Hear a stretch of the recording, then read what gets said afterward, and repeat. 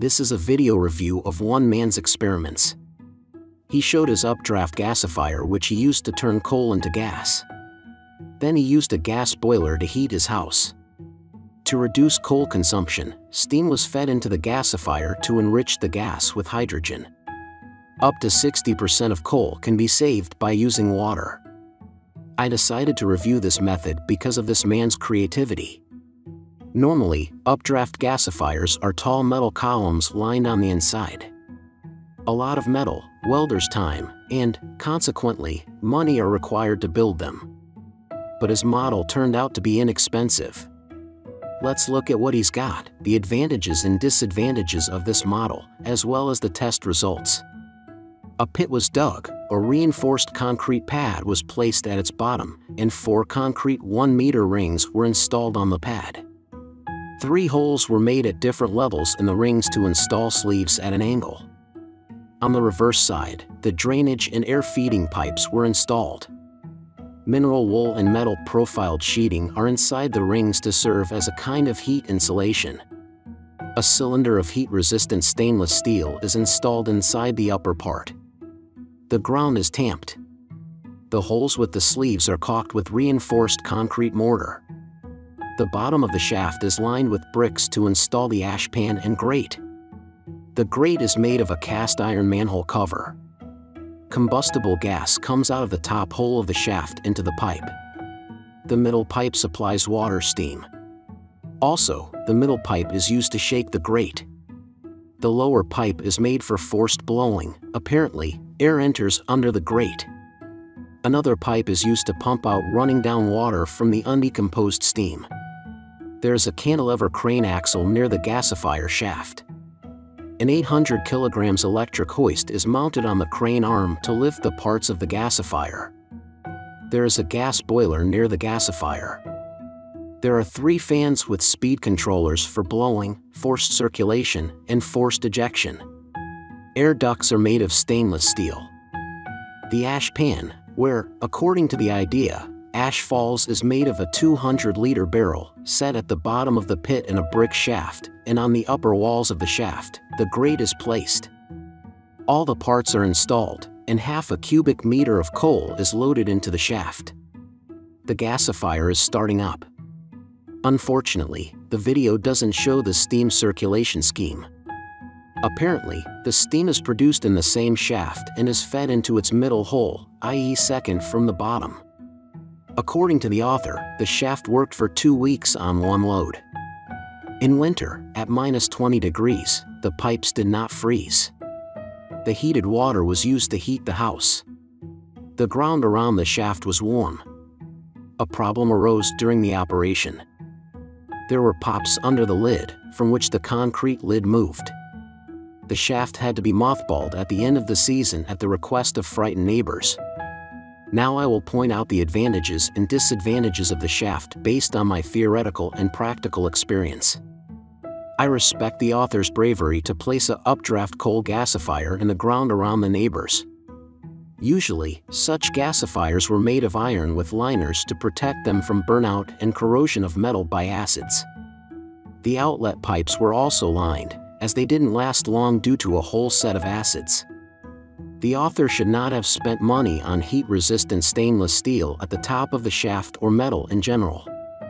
There will be nothing left of it one way or the other, and it will happen faster than is assumed. If the author uses gas very close to the shaft in a gas boiler, it doesn't matter how much heat the shaft dissipates through the walls to the ground.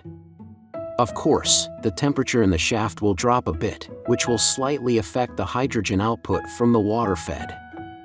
I don't think that's a very big difference, so it can be neglected.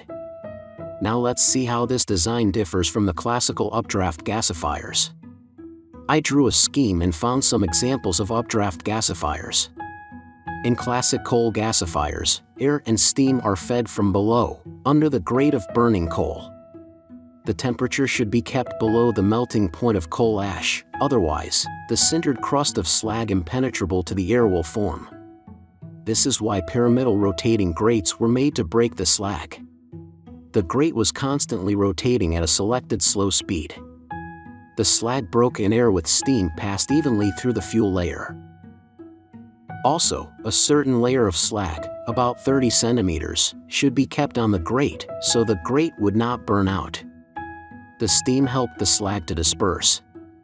As the grate rotated, it pushed the slag out from the sides of the cup, which rim went beyond the walls of the gasifier, where the slag was freely discharged. I have read hundreds of books describing how this solution appeared. I must tell you that the inventors had a lot of trouble until they came up with it. However, it was only suitable for certain coal grades and certain sizes of coal lumps. Below I'll explain why.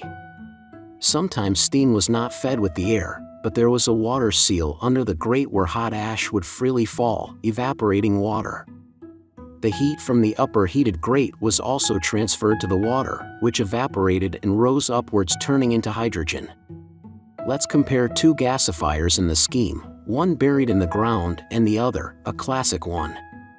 The author does not describe how he gets steam, but we can see that the steam is fed into the middle of the shaft, while the air is fed under the grate. This is incorrect. The steam should have been fed into the same place as the air.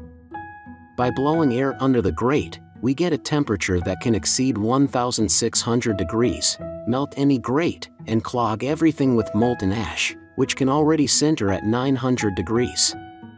The grate should have been made perforated and rotating.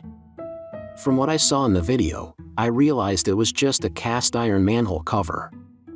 I think it even had no holes. It's hard to see. The grate rotation mechanism could have been placed under the grate and water barrel, taking the rotation rods out of the shaft wall into the pit, where the rod would rotate from a gear motor. The rotation speed could be adjusted with a variable speed drive. The rotating grate would break the slag which would fall into water, for example, in that very water barrel, while hot, and the rising steam would enrich the gas with hydrogen and reduce the consumption of coal to a maximum of 60%. The fuel level should always be kept high because water needs 1300 degrees in 3 seconds to turn into hydrogen on charcoal. It takes twice as long on coal because coal has a worse carbon reactivity than charcoal. If the steam doesn't decompose, it will go into the flare, reducing its calorific value. The top cover, in my opinion, should have been made with a sand plug. Not only coal but also waste products, for example maize heads or branches, can be turned into gas in such a gasifier.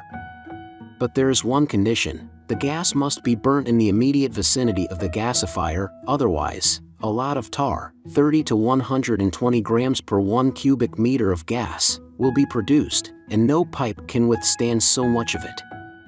But there is no need to rotate the grid if wood is used. The usual flat fixed grid made of rebar is enough.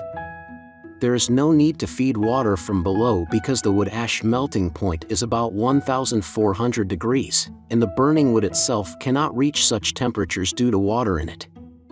As I mentioned, it is advisable to make fuel of the same size pieces for coal gasifiers. The author of the concrete shaft had pops under the lid that made it move.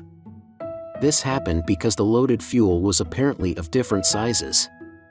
It turns out that the smaller pieces burn out and form big gaps between the larger pieces, so the unburned air oxygen passes up where combustible gas already is. As they mix, a detonating mixture forms and explodes. It was the same in coal-fired gasifiers in the past, so they were preferably loaded with equal-size fuel pieces.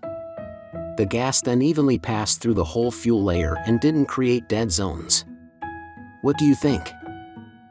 Does such a gasifier for domestic use is feasible?